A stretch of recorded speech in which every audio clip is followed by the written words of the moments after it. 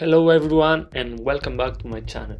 So in this video we are going to talk about how Galaxy Tab works with the CyanogenMod Mode 11 which means Android 4.4 KitKat after a year. So let's get started.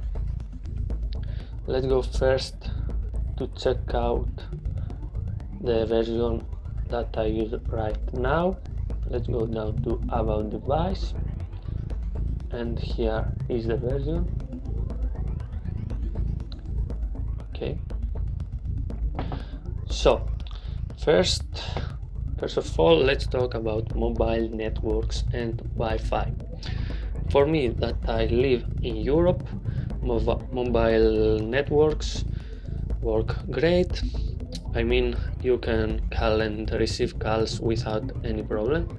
And also 3G internet works great.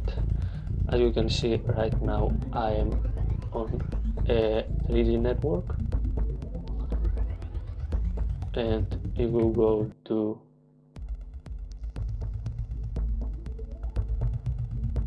internet as you can see everything works great. Also with uh, Wi-Fi we are okay. So let's talk uh, now about camera. So camera. Um, here we have some problems. Let's go to camera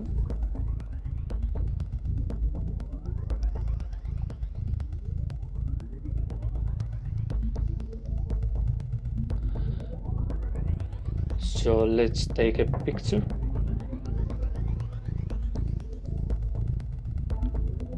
Nice. As you can see camera to take picture works good. But now if we switch to video camera stop to work at least for me. Also flash works. As you can see here. Nice. So next we have battery.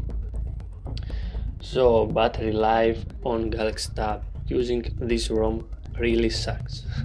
Why? I can take something like 4 hours screen on time that's all. Nothing more.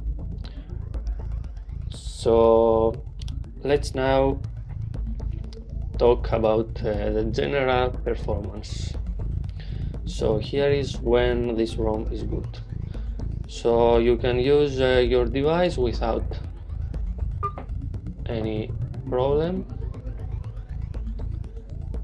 As you can see everything works pretty good.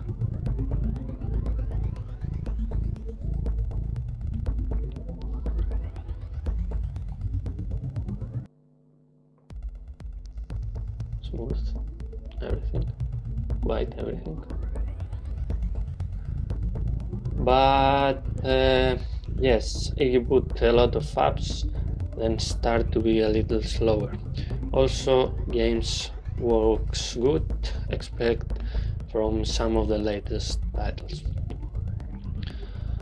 So now let's talk uh, for some extra things that you get with this ROM.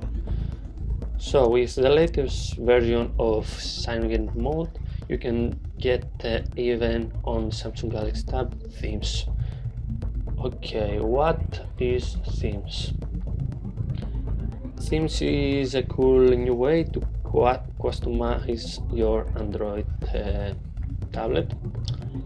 Here as you can see themes and you can change from the icons to wallpapers, fonts, styles, boot animation, quite everything.